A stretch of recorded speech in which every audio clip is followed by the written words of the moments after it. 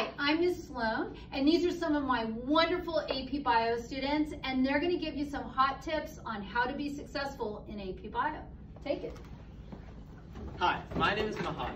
AP Biology is a completely different playing field from other subjects. Whereas previously, you might have been able to get away with just memorizing the information, the honest truth is you won't get very far in AP Bio without having a conceptual understanding of the information. I'm Sophia, and I'm here to tell you that you really have to change your study habits to study for these tests because they are difficult. Every point counts, and studying well for the quizzes will help you study for the tests. The quizzes are on content and the tests are on applying the content. And definitely study ahead of time. Actually listen to Ms. Sloan and apply the 24-hour rule. It's super important to be prepared for class um, because class preparation is going to be your key of success in terms of actually succeeding in AP Bio. Take the time to watch and understand the Edpuzzles and really try with all the assignments you're given because they're provided for a reason, so you want to make sure you take advantage of them.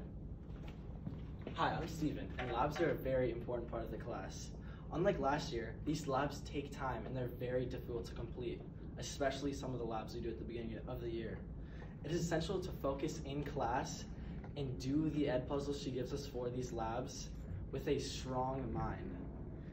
Choosing a good group is important, but your grades are on you. You have to do the work yourself. But overall, I believe in you, and good luck. Hi, I'm Marissa, and Mrs. Sloan will periodically assign College Board assignments on the College Board, which help you to prepare for the AP exam. They're a mix of multiple choice and free response questions, and they're not for any points, they're totally optional, but it's a great tool to help you prepare and make sure you start early.